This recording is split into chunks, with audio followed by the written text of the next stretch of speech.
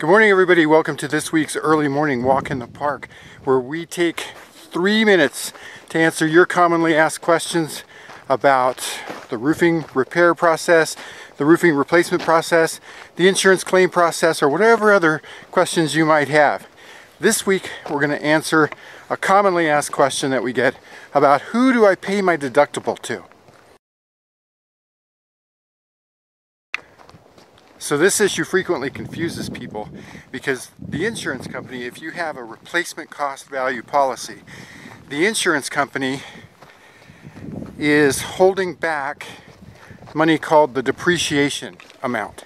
So that's the amount that they have decided that your roof has depreciated since it was installed and they hold that money back. Again, that's on a replacement cost value policy, which we'll explain in a future episode. So they hold that money back, but then they're also uh, keeping out of the claim your deductible amount. So that means, for example, if you have a claim that's $10,000 and the depreciation amount is $4,000 and you have a $1,000 deductible, they're going to hold back $4,000. They're going to deduct $1,000 because that's your deductible. And so then you're going to get a check for $5,000, your first check, okay? Remember that that's your first check because you're going to get another one.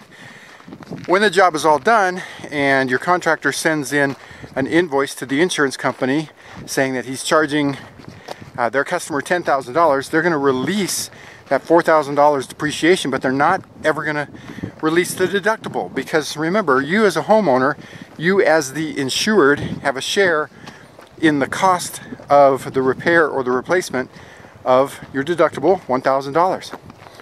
Well, so the reason people get confused is because they think, well, I already paid the deductible to the insurance company, right? Or do I have to send them a check for $1,000? No, you don't send them a check because they held that, or they just took that out of the claim. They did not pay that to you.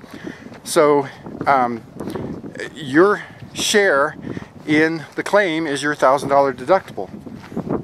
So, do you pay it to the insurance company? No, because that's no part of the claim.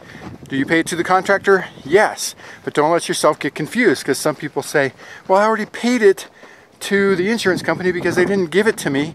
And so if I pay it to the contractor, then I'm paying it twice. Well, you're not, you're not really. Um, it, it, does seem like it, but you're really not. Remember, uh, the deductible is your share of the amount of the claim. So, uh, again, in that example, it's $10,000 claim. You have a skin in the game of $1,000. Your insurance company expects you to pay that. And so that's how that works. So don't get confused. The deductible payment has to be paid to the contractor. It's not paid to the insurance company. So hopefully that helps answer your question about who you pay your deductible to. And so if you've got any further questions, you can give us a call at Homestead Roofing uh, right here. We'll make room for that, 719-433-6991. You can also visit our website, contact us through there. We've got lots of tips and information on the website, homesteadroofingcolorado.com, right down there. Otherwise, We'll see you next week on our early morning walk through Homestead Ranch Regional Park. Until then, I'm Tracy Bookman with Homestead Roofing.